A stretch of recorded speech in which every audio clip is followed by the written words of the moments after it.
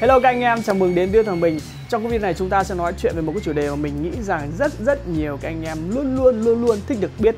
Đó là những cái chai nước hoa giá vừa phải và có một cái chất lượng mùi hương cũng rất là ok. Nói chung là ổn để có thể thay thế được những cái chai nước hoa đắt tiền có một có một cái tông mùi cũng gọi là có tương tự nhau nhưng cái vấn đề ở đây đó là cái giá thành của nó nó mềm mại hơn có thể thay thế được những cái chai nước hoa đắt tiền đó và một điều quan trọng nữa đó không phải là nước hoa clone. Với cá nhân mình thì mình không phản đối cái việc các anh em sử dụng nước hoa clone nhưng mình cũng không ủng hộ bởi vì cái việc copy lại cái việc đi lại cái con đường của một uh, sản phẩm đã thành công có sẵn thì đấy không phải là một người chơi nước hoa. Đó chỉ là một người dùng nước hoa. Còn nếu mà đã gọi là chơi nước hoa thì chúng ta phải tìm cho mình một cái con đường riêng một lối đi riêng. Đấy là cá nhân của mình. Còn thì tiền là của các anh em. Chúng ta mỗi người sẽ tự quyết định là cái việc chúng ta sẽ uh, khi mà tiến vào cái thế giới mùi hương là như thế nào. Đó còn không dông dài nữa anh em mình hãy quay trở lại với chủ đề chính của video ngày hôm nay. Những chai nước hoa rẻ tiền giá thấp hơn mùi hương cũng ok và thay thế cho những chai nước hoa đắt tiền hơn. Ok lên đường. Chai nước hoa đầu tiên đó là Perfume The Mali Herod đây là một tông thuốc lá mà mình luôn luôn rất rất là yêu thích. Trong tất cả những chai nước hoa có sử dụng nốt thuốc lá ví dụ như Naso hay là Tobacco Vanille hay là một à, uh, 1821 nói chung có rất rất nhiều những chai có sử dụng tông thuốc lá. Nhưng đối với mình Herod luôn luôn là chân ái luôn luôn là một tình yêu mãnh liệt. Tuy nhiên hiện tại thì nó có một cái vấn đề rất rất là đáng lo ngại đó là việc reform mùi qua cái việc này thì nó đã bị thay đổi về hiệu năng có rất nhiều những lời oán thán về cái việc uh, hiệu năng mùi không còn được như trước. Thì đấy là một cái điều rất rất là đáng buồn. Tuy nhiên nếu như các anh em muốn tìm một cái style có một uh, đâu đây một cái nét tương đồng với Perfume The Mali Herod thì ở đây mình muốn giới thiệu cho anh em Tobacco and Tonkabin một sản phẩm của nhà Banana Republic trong cái sự nghiệp mình đi tìm những chai độc lạ và đáng giá tiền thì phải nói rằng một cái line uh, icon của nhà Bernard Republic luôn luôn luôn luôn là một trong sự thành công phải gọi là rất rất lớn đối với mình.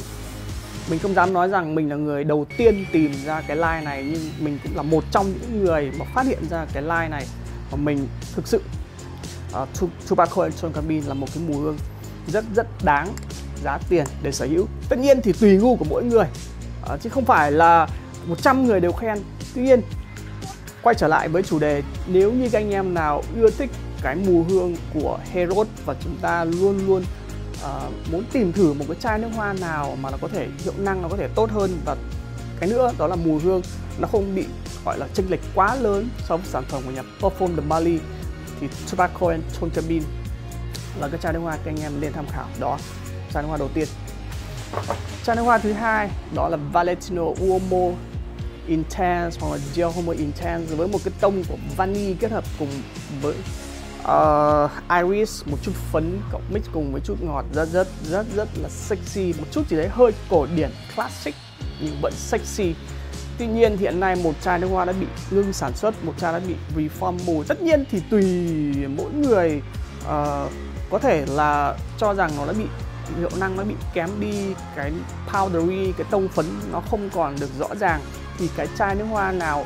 khả dĩ có thể giúp cho các anh em uh, enjoy cái tông mùi rất là đặc trưng của Diomi Intense. Và cái quan trọng nữa đó là mức giá nó rẻ hơn thì ở đây đó là Halloween Man Shot một sản phẩm của nhà Halloween với sự kết hợp của vani của uh, cái nốt gì nó gọi dạng kiểu cocktail và đặc biệt đó là iris không thể nói rằng đây là một mùi hương vượt trội hơn hẳn so với Dior Homo Intense vượt trội hơn hẳn so với Valentino Homo Intense nhưng với cái mức giá mà chúng ta sẽ bỏ ra để sở hữu và so sánh với cái mùi hương của em này thì mình luôn cho rằng nó xứng đáng để có thể anh em có thể tận hưởng được uh, những cái sản phẩm đã đi trước. Đó uh, bộ nước hoa thứ hai.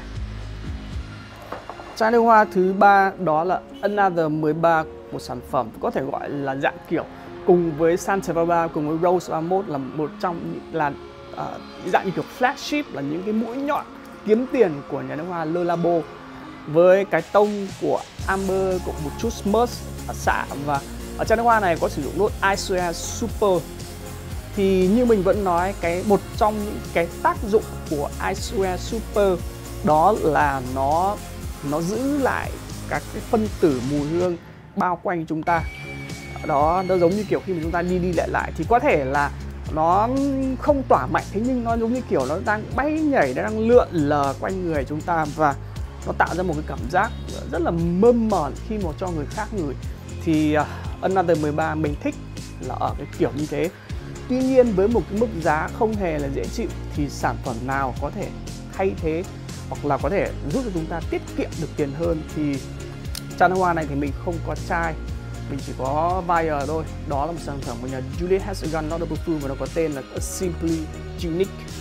Với uh, uh, cũng là một cái tông xạ và một chút thì nó hơi dạng đối với mình thì mình cảm giác nó hơi phân phấn một chút. Mặc dù vậy thì mình thấy rằng ở hai chai nước hoa này đều có một cái sự tương đồng cũng uh, khoảng đâu khoảng 50 60 phần trăm. Đó bởi vì cả hai chai nước hoa này đều ra mắt vào năm 2010 cho nên không thể gọi là Juliet Has a Gun là clone của Another 13 mà mình nghĩ rằng đó là hai chai nước hoa có cái nét tương đồng với nhau. Do vậy, anh em nào nếu như thích cái kiểu style mùi của A13 và cái giá tiền muốn thấp hơn, thì Juliet Has a Gun ở Simply Unique. Mình nghĩ các anh em, nếu mà có gì thì chúng ta cũng nên thử. Đó. Chai nước hoa thứ tư đó là một sản phẩm của nhà Creed và nó có tên là Virgin Island Water, một cái tông mùi dừa. Nhắc đến dừa thì mình với mình thì mình thích sử dụng tông này trong những ngày hè, ví dụ chúng ta đi biển đó, những cái buổi party, những cái buổi tiệc đêm, những cái buổi nói chung là tất cả những cái gì liên quan đến những cái buổi đi chơi ngoài biển thì một cái tông mùi dừa chắc chắn rồi rất rất là thích hợp. Tuy nhiên ở với một cái mức giá thì không hề là dễ chịu, thì không phải ai cũng có đủ điều kiện kinh tế để sở hữu được sản phẩm của nhà Creed thì lúc này sản phẩm nào mà chúng ta có thể tham khảo? Ở đây mình gợi ý cho anh em Gas 1981 Indigo.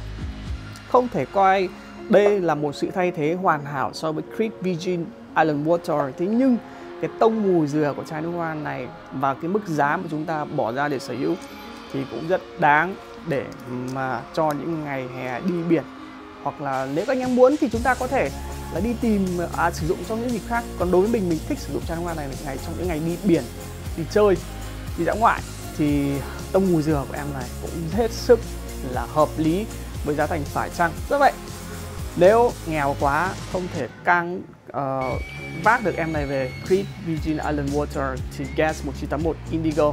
Ok không thành vấn đề. Chai nước hoa thứ năm đó là Kirkland Santa Royal, một bộ uh, sản phẩm một mùi hương của trầm và hồng và còn rất rất nhiều những chai nước hoa thuộc tâm tông trầm hồng. Đó Wood và Rose thì đây là một trong những combo có thể gọi là đặc trưng của Trung Đông. Đó và tất nhiên giá thành thì cũng không phải là quá là dễ chịu cũng khá là chát chúa.